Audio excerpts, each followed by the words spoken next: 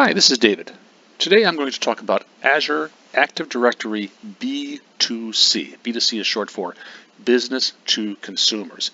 And it's used for when you want to implement a security system with a massive amount of users coming from lots of places outside your organization. Maybe you want to have them authenticate through different providers, not just your own Active Directory.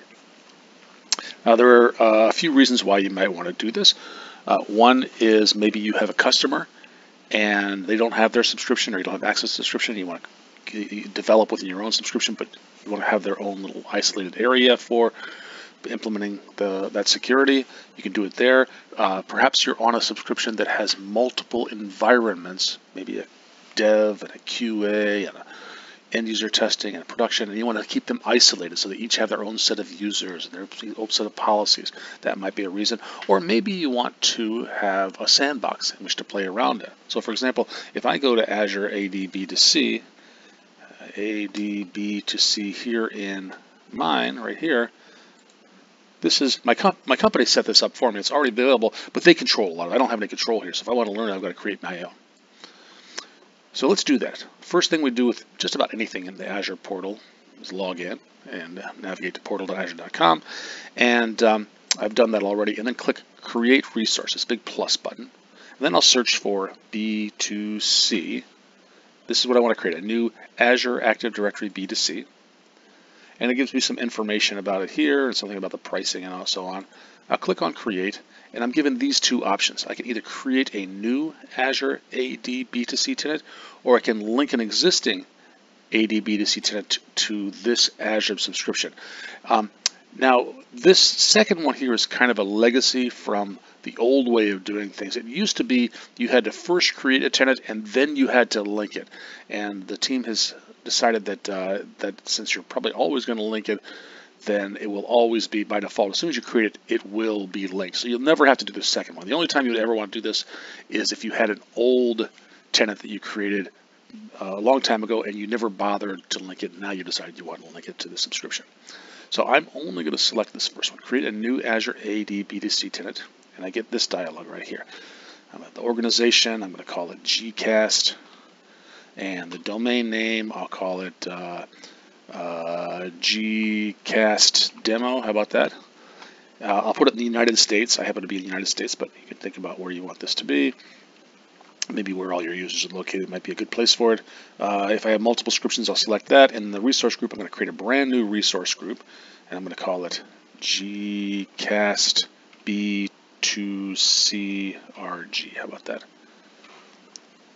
Okay. And the resource group location, I'll put it in the US, East US right there.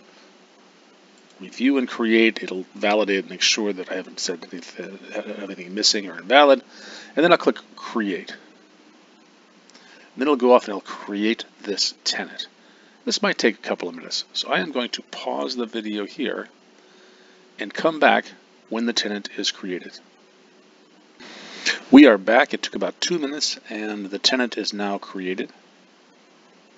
I should point out, by the way, that sometimes when I did this, when I first did this, I got this error message right here. Subscription is not registered to use namespace Microsoft Azure Active Directory.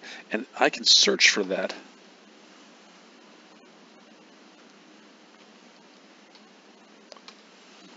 And the very first thing that comes up in a Bing search is this article by Adam store.azurewebsites.net and this talks through how to handle that. You'll need to go into a, a CLI prompt, set your subscription, and register the namespace Active Directory. So I had to do that before I could move forward with any creating new ones here.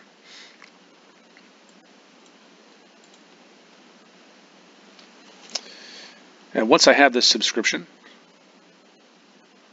then I'll need to switch to that directory. And the way that I switch to the directory, I, I called this one. Let's see, switch to directory is I want to go to, it isn't showing up yet. It takes a minute to show up. So let me refresh this page. And it's this one right here, gcast demo.onmicrosoft.com. The directory name is gcast. And I can switch to that